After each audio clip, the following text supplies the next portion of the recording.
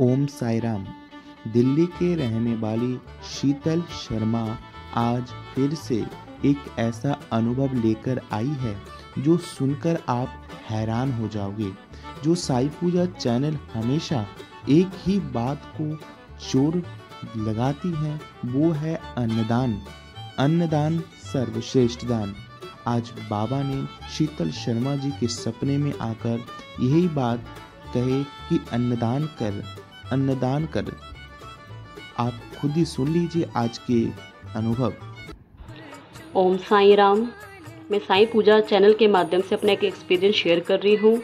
मैं दिल्ली से शीतल शर्मा। मेरा एक्सपीरियंस है कि कुछ साल पहले मेरी शादी नहीं हो रही थी। बहुत लड़के देखे मेरे पापा ने, लेकिन कहीं बात नहीं हुई। मेरी एक फ्रेंड थी जो साईं बाबा के मंदिर जाती थी पूजा करने। लेकिन उसका रिश्ता पक्का पहले हो गया था। उसकी शादी दिसंबर में थी, आठ दिसंबर की। तो मैंने अपनी फ्रेंड को ऐसे ही बोला कि, तू कौन से भगवान की पूजा करती है? तो उसने मेरे को बोला कि, तू साईं बाबा के मंदिर चल।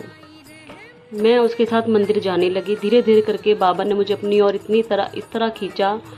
बस मैं बता नहीं सकती। मेरे को ऐसी लगन लग गई कि मैं मंदिर रोज़ ही जाने लग गई थी। जाते जाते मेरे मन में मतलब विश्वास तो था, लेकिन इतना नहीं था जितना बाबा ने दृढ़ कर दिया। मेरे को बाबा जी ने सपने में बोला कि अगर मैं तेरा रिश्ता पक्का कर दूँ तो तू भंडारा करवा देगी। तो मेरे पापा मम्मी इन चीज़ों को नहीं मानते। तो मैंने बाबा को ये बोला, बाबा, मैं मम्मी पापा से पूछ के बताऊँगी। मैं अभी हाँ नहीं कर सकती, क्योंकि मेरे पापा मम्मी इन चीज़ों को नहीं मानते। कहीं वो, अगर मैं हाँ करती तो कहीं वो गुस्सा ना हो जाते। तो मेरी मम्मी कम मानती है भगवान को तो उन्होंने शायद चैलेंज ही दिया था शायद बाबा को, क्योंकि वो बहुत थक चुकी थी लड़के देख देख के, पूजा कर कर के, कि अब कुछ नहीं होने वाला। तो उन्होंने बोला कि चलो ठीक है आपके बाबा को भी देखते हैं। अगर बाबा की कृपा से तेरा रिश्ता पक्का हो जाता है, शादी हो जाती है तो हम भंडारा कराएँगे। आप यकीन नहीं करोगे, एक हफ़्ते के अंदर ही मेरा रिश्ता पक्का हो गया, फिर मेरे पापा ने भंडारा कराया। और जो फ्रेंड मेरे को लेके गई थी, जिसका रिश्ता पहले पक्का हुआ था, उसकी शादी दिसंबर में थी। उससे पहले नवंबर में मेरी शादी हो गई। यही बाबा का बहुत बड़ा मेरिकल है मेरी लाइफ में। थैंक यू बाबा, इसी तरह अपना आशीर्वाद का हाथ बनाए रखना बाबा की कृपा से। मेरे दो बच्चे भी हैं, बेटा और बेटी। थैंक यू बाबा, सबका भला करना, सबका भला करना। ओम साई राम।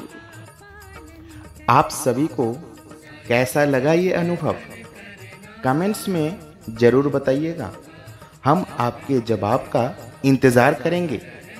साथ में लाइक, शेयर और सब्सक्राइब करना मत भूलिएगा। ओम श्री साईनाथाय नमः।